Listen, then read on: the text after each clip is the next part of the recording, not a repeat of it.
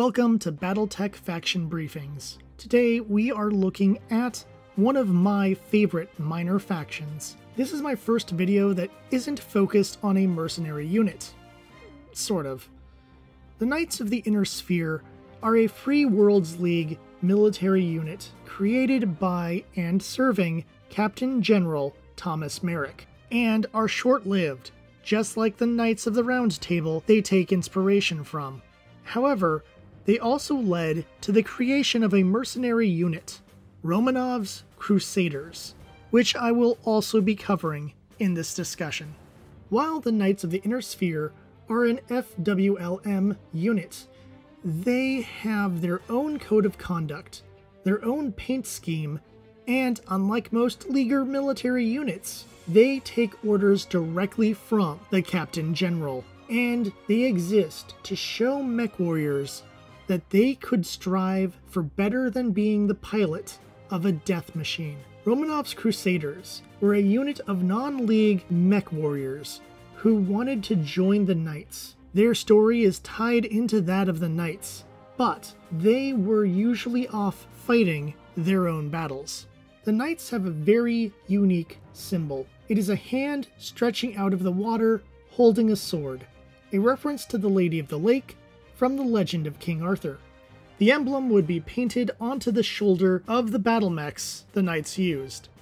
The paint scheme seems to have some contradictions, as some sources say white is the main color and others say red. The agreed upon motif is that the first unit of knights uses gold accents, while the second regiment uses silver. As for Romanov's Crusaders, they have an elaborate symbol of a knight riding a horse and carrying a flaming sword. Layered upon a shield, the symbol is placed onto the chest of the mechs in a location where the heart should be. The colors are reminiscent of the knights, but are just different enough to be their own design. They use a dull silver for the main color with gold accents. While both units didn't last very long, they do have distinct designs that did stand out on the battlefield. They would also look unique when being used on the tabletop, especially alongside other FWL forces. The history of the Knights of the Inner Sphere is a short one, lasting only about 21 years. However, they do have several appearances in the novels. Romanov's Crusaders, on the other hand, are mostly a sourcebook footnote. However, if you want to avoid spoilers for either unit, skip to the timecode on the screen. In 3055, Captain General Thomas Marik came up with a different take on the construction of a mech force. Thomas Marik was a fan of history and a collector of artifacts, including the original printings of books. One of the books that he loved was Le Morte d'Arthur by Thomas Malory, written in 1470. The story goes from the youth to the death of King Arthur and covers the adventures of the famous king and his Knights of the Round Table. The story inspired Thomas Marik to make a unit developed to emulate the legendary knights in the 31st century.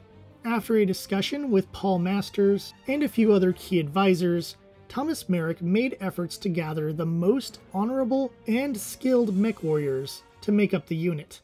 Once gathered, the mech warriors had to swear loyalty to Thomas Marik as their liege lord. Each warrior was given the title of Sir or Dame and expected to follow a chivalrous code of conduct. However, more than just Free Worlds League mech warriors showed up.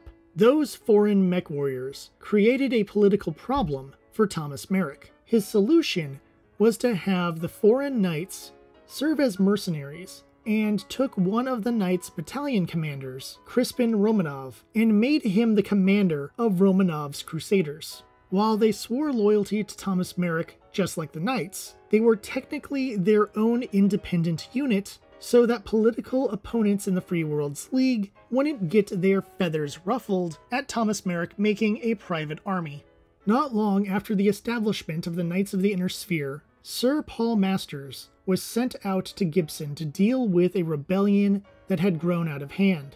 His efforts led to a battle with the Word of Blake militia and the 2nd Regulan Hussars. Despite the odds, the Knights won, even when attacked by tactical nukes.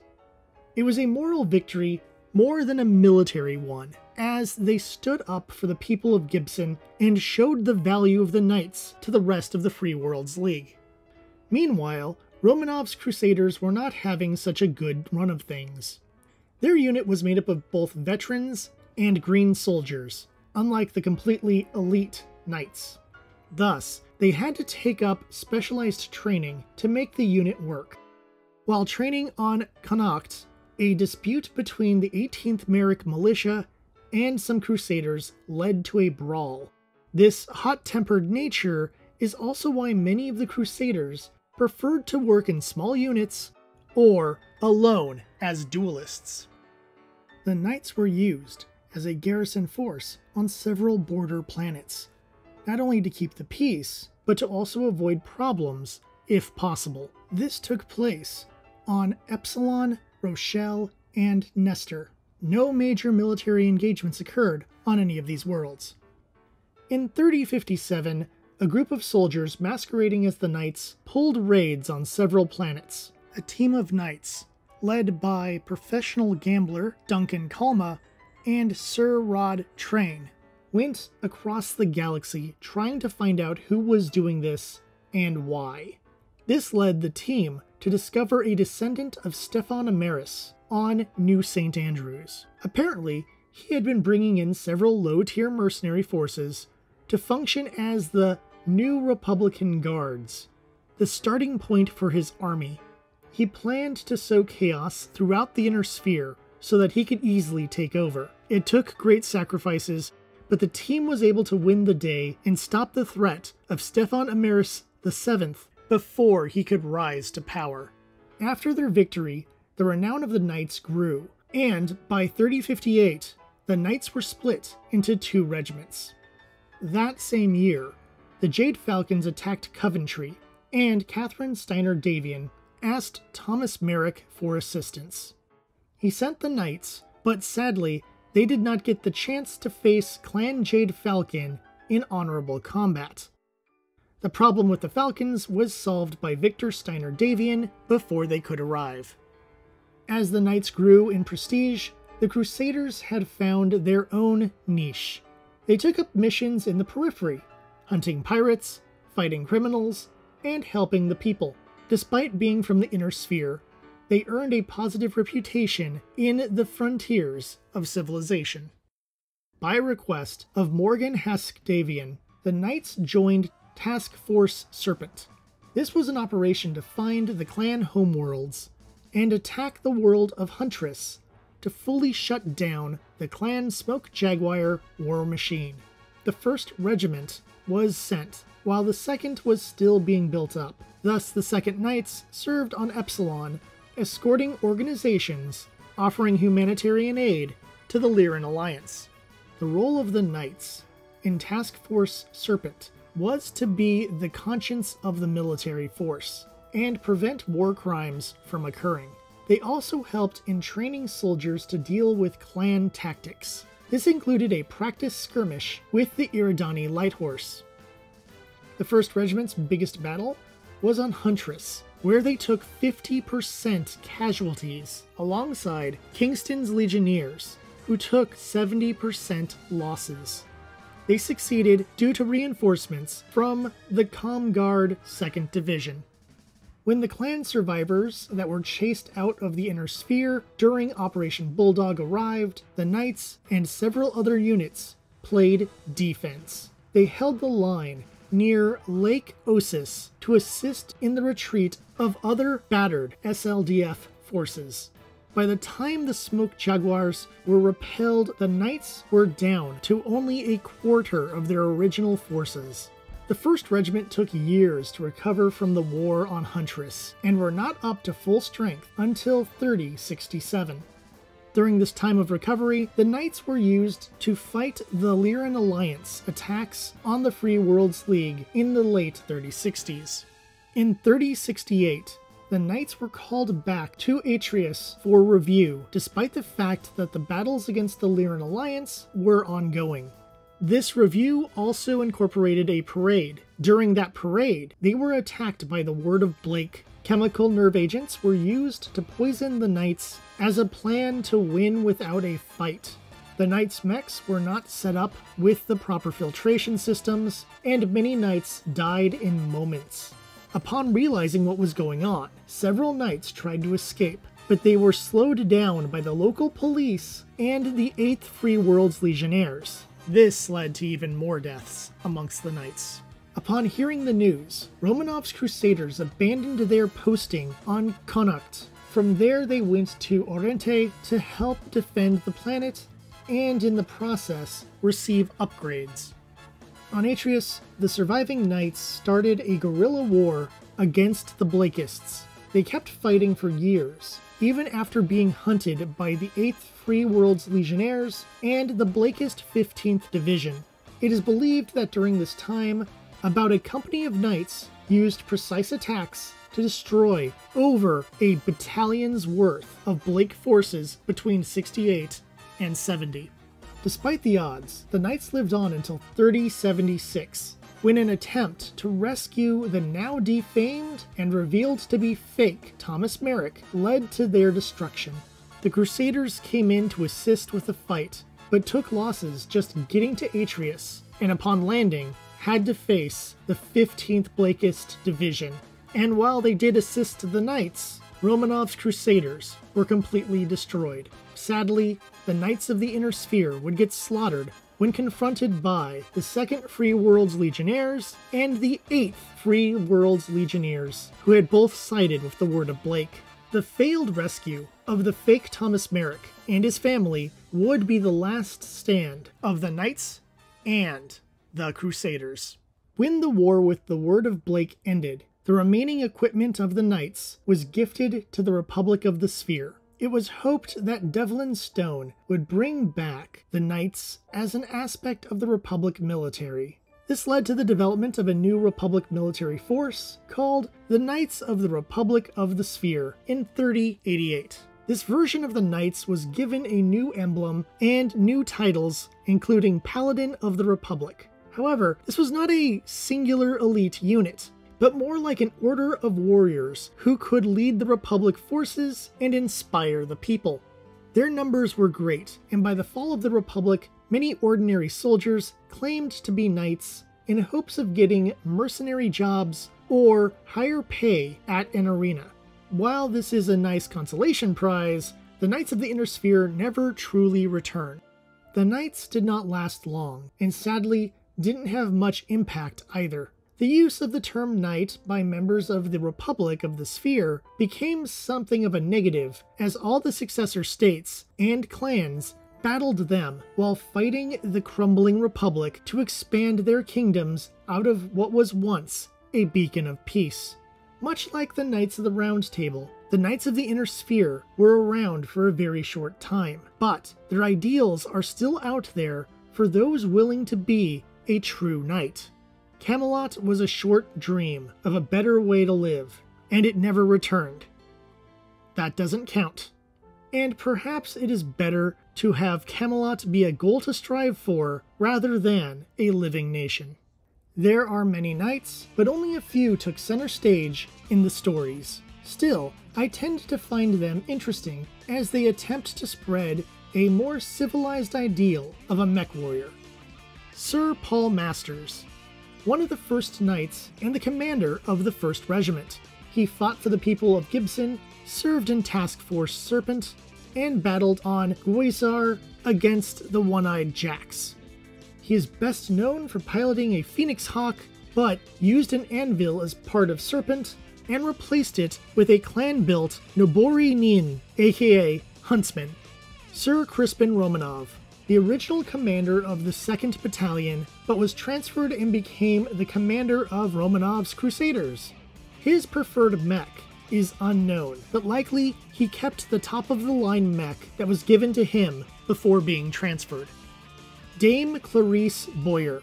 She took over for Romanov as the commander of the 2nd Battalion. Years later, she took over as the commander of the 1st Regiment when Sir Paul Masters was promoted to general. She took command in 61 as the first Knights rebuilt themselves, but sadly ended her career during the Blakist attack in 68. Her mech was likely an Albatross. Sir Andre de Souza, the first and only commander of the 2nd Regiment. He led the team using small group tactics and maneuverability. His preferred mech is unknown. Sir Rod Train, the commander of the 2nd Battalion of the 2nd Regiment. He was an important member of the team that defeated the False Knights in 57. He piloted several mechs, including a Valkyrie, a Warhammer, but probably got an upgrade to a top of the line unit upon becoming a commander. Sir Hector Molita. He was a Draconis Combine soldier who left and joined the Knights. He was one of the few non leaguers to become a Knight and served as the XO of the 2nd Regiment around 59. His mech is unknown, but likely used in assault or heavy. Sir Ryan Johansson a veteran of the Rasalhague Khanzam, but was let go after receiving severe wounds that required a prosthetic left arm and myomere implants in his legs after a battle with clan Ghost Bear. He chose to continue his career with Romanov's Crusaders and would rise to the rank of XO. He likely piloted one of the captured clan mechs, either a Dragonfly or Battle Cobra. Sir Miguel Lobos Plamados. A captain in the 2nd Regiment, Miguel preferred to fight solo, taking on evildoers as a wandering hero. His works earned him Holovid serials and epic songs. He pilots a thug. One of the things that helped the Knights of the Inner Sphere stand out as a unit is that Thomas Marik made sure they had top of the line technology in their mechs. This included the near exclusive use of the Albatross. Most of the pilots used heavier units, but they had enough variety to serve in any conditions. Beyond that, they had a fighter wing for both regiments. Of note, the battalions of each regiment were named after the Knights of the Round Table. First Regiment was made up of Lancelot, Galahad, and Gawain, 2nd Regiment was made up of Tristram, Bedivere, and Percival. As for Romanov's Crusaders, they had much less in terms of new technology, with 35% being top of the line at the beginning of their unit, but they got more advanced tech as time went on. There are plenty of books featuring the Knights of the Inner Sphere. Their creation is told in Ideal War, and it is followed up with Star Lord, they are also a key part of the Twilight of the Clans series. While they aren't in every book, it is an interesting saga to explore for those interested in Task Force Serpent. Beyond that, there are several source books with information about the Knights, and a couple more with information about Romanov's Crusaders. I chose to discuss the Knights of the Inner Sphere for two reasons. First off, I'm a House Marik fan, and the second is that Ideal War was the first Battletech novel I went through. While I had read some short stories, that was the first novel I chose to go for because it was tied to the Free Worlds League. When I did some research on the Knights, long before I started this series, I wanted to read more of their adventures. But I was also disappointed at how they came to an end. Still, the dark ending of the unit does seem to fit with the end of Arthur and his knights. As of this recording, I have not painted a squad of knights, and honestly, I may never do that. Not because I dislike the knights, because obviously I've talked about how important they are to me, but because I like my units to have a versatility and be usable in as many eras as possible, so that I can adapt to whatever era an opponent would like to play. That being said, I encourage anyone who is on the fence about adding the Knights to their mech force to do so, because they are a fun faction due to their chivalry and combat skill. If Catalyst ever decides to do a Knights of the Inner Sphere Force pack, this would be my suggestion, alongside cards for Sir Paul Masters and Sir Rod Train. I hope you enjoyed this episode of Battletech Faction Briefings. If you have a request, please let me know in the comments, and I'll get to it as soon as I can. In the meantime, I'd like to thank all the new subscribers and remind all mech warriors out there to keep your weapons hot and your reactor cool. Until next time, I'll see you at the tavern.